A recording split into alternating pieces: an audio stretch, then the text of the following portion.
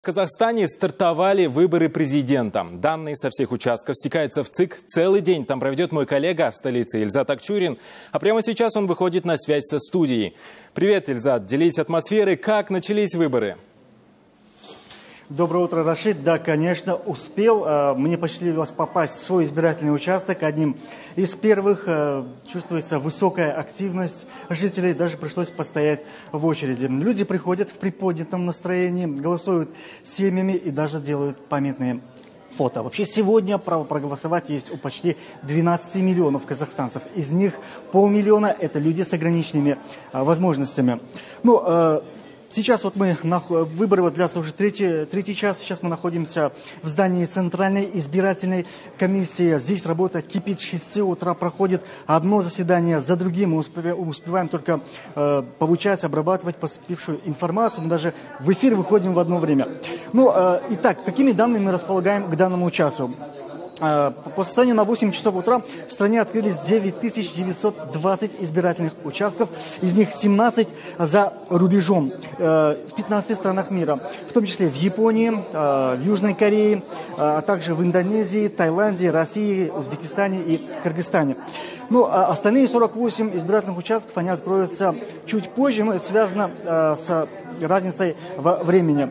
Ну вот с минуты на минуту появятся первые цифры и данные о явке избирателей. Вот уже люди собираются на очередное заседание комиссии.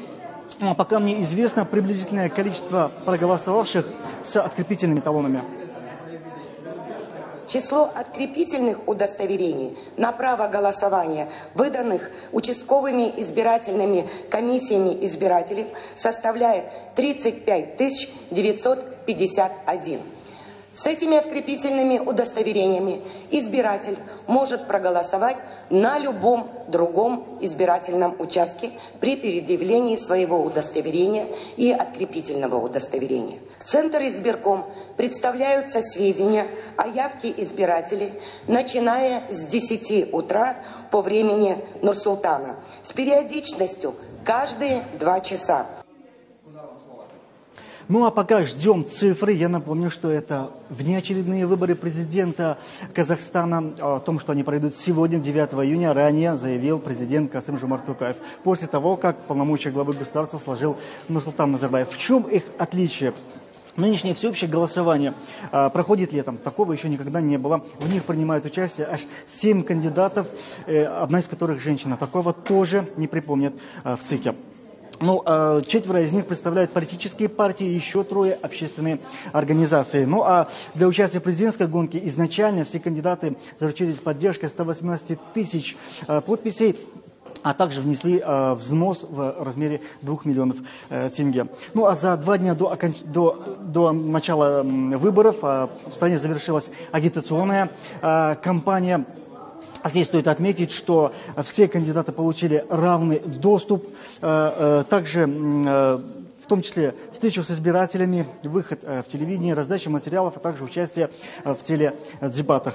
Ну, вот сейчас нам стало известно, что в столичных избирательных участках начали голосовать уже сами кандидаты Э, которые претендуют на высший государственный пост. Чуть подробнее об этом уже буквально через час расскажет и поделится моя коллега Салтанат э, Насанбек. Ну, а, это, ну, а я же выйду на связь в полдень и поделюсь свежими данными. Пока на, это, пока на этом все. Рашид. Большое спасибо, Ильзат. Будем на связи. А, я напомню, с нами на связи был Ильзат Акчурин, наш корреспондент из Нурсултана.